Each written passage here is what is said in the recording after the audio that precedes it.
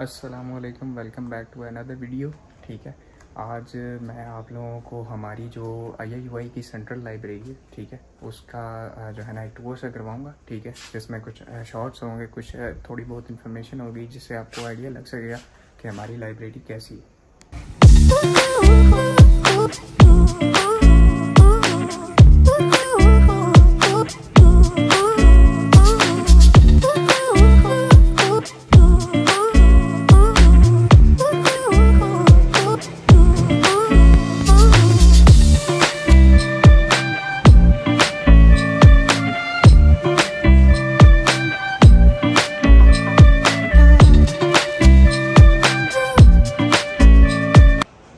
अच्छा इंटर होते सार अगर आप लेफ़्ट साइड पर देखेंगे तो यहाँ पर पब्लिकेशंस पड़े हुए हैं यूनिवर्सिटी थोड़ा आगे हैं तो यहाँ पर ना ओपैक का सिस्टम लगा हुआ है, ठीक है? जिससे ऑनलाइन आप इन सिस्टम पे सर्च करके किसी भी बुक को फाइंड कर सकते हैं, ठीक है? फाइंड करने के बाद उसी डेस्क में से जाके आप इसको इशू करवा सकते हैं।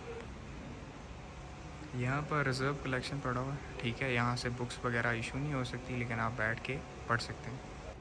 अच्छा जी, ये ना सेंटर है लाइब्रेरी का। ठीक है, इसको गोशा इकबाल भी कहा जाता है। यहाँ पर लामा इकबाल की जितनी भी बुक्स हैं ना, वो इधर ही पड़ी हुई हैं, ठीक है? अच्छा यहाँ पर बैठ कर पढ़ना ना, एक अलग ही किस्म की वाइब है, ठीक है? कोई भी मौसम हो, यहाँ पर बहुत ठंडक होती है, ठीक है? और बहुत अच्छा पुरसकून माहौल होता है लाइब्रेरी के अंदर।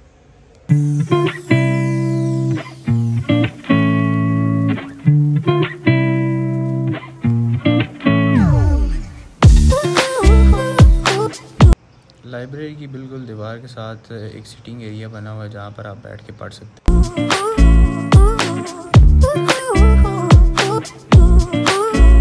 ये जी लिंकन कॉर्नर है, ठीक है one of the my favourite place in library सीढ़ियाँ चढ़ कर ऊपर जाएँ तो एक और फ्लोर है, ठीक है, यहाँ पर हर किस्म का थीसिस वगैरह और बुक्स वगैरह पड़ी हुई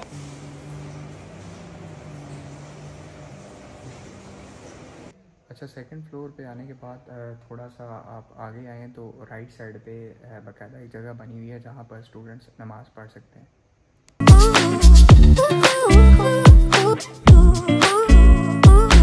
ये स्टडी एरिया जब सर्दियों का मौसम होता है तो हम यहाँ पर चटाई वगैरह बिछा के ना तो यहाँ पर बैठ के अपनी तैयारी करते हैं मेड्स की खास कर